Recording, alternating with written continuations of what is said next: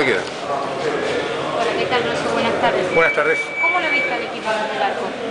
En el primer tiempo eh, parejo, sin muchas llegadas para ninguno de los dos. Y un segundo tiempo donde vi que Ferro eh, dominó eh, por varios eh, tramos de, de- de- de ese- de esa etapa y donde creó varias situaciones. ¿no?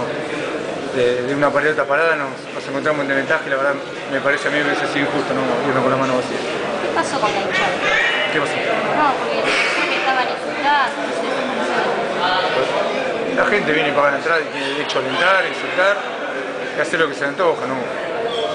Eh, yo estoy concentrado en el partido y la verdad que no, no le presto mucha atención. ¿Le podés dar un mensaje para el próximo partido? De, de paz, de amor, y pensar que... No, qué yo. Decime vos. Eh, no, no, acá en el mensaje, el mensaje lo damos el domingo. Creo que este equipo puede jugar mal, regular o bien, pero creo que deja el alma cada partido, ¿no? Allá el que lo sabe ver y que, eh, que se da cuenta de esas situaciones, que no.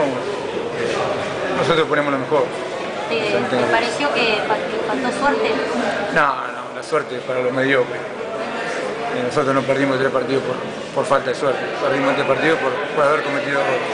Muchas gracias. Gracias a ustedes.